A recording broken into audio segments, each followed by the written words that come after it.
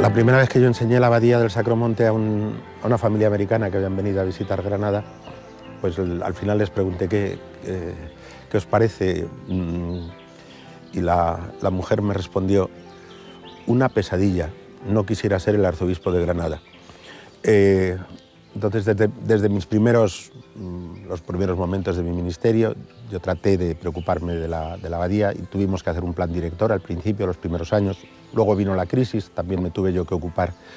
de la construcción de una escuela de magisterio nueva y dos proyectos grandes a la vez no se podían hacer. En este momento hemos retomado la preocupación por la abadía y la verdad es que en, en los dos últimos años se han hecho cosas preciosas y con la con la ayuda de muchas personas, yo estoy convencido de que podemos recuperar, no se trata solo de recuperar edificios, no me importan tanto los edificios cuanto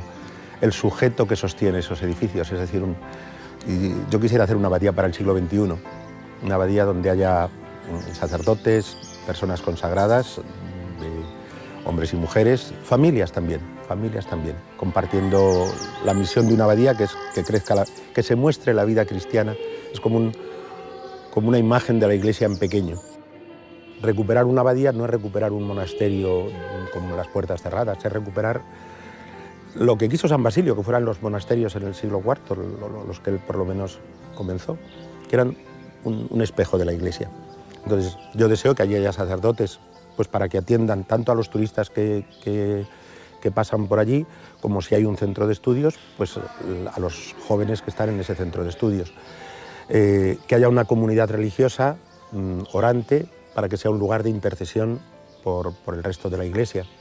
y a donde uno puede acudir a pedir ayuda, a pedir consejo y así. Luego que haya familias, familias que trabajan en la abadía o que promueven obras, yo he pensado sobre todo en obras de sostenimiento de la agricultura.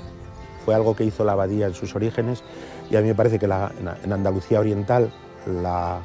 la agricultura, que es una agricultura de minifundios, pues está muy amenazada y los pueblos se mueren, pues desde la abadía se podría, mediante cursos a niños, mediante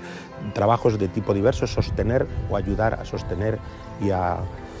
y a, promocionar, diríamos, las, las, pequeñas producciones agrícolas de la Alpujarra o del Valle del Ecrín o así, ¿no? Hasta mm, personas que vienen a pasar una temporada a la abadía pues para